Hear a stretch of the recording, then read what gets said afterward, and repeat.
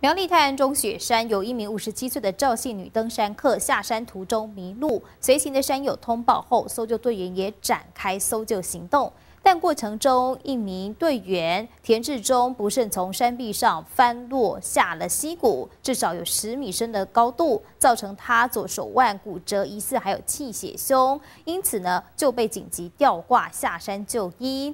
他之所以掀起话题，是因为过去曾经登上消防猛男阅历的主角，还好这回受伤送医后并没有生命危险。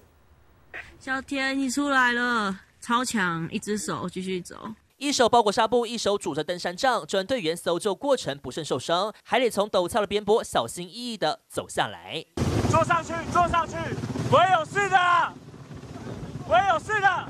一行人将队员护送上直升机，同袍喊话叫打气。受伤队员即使身体疼痛，还是靠着意志力比了个赞。空勤直升机交队员后，赶紧将人送往医院。不能打球了。救援队员田志忠被送到医院，他的左手腕严重骨折，疑似还有气血胸。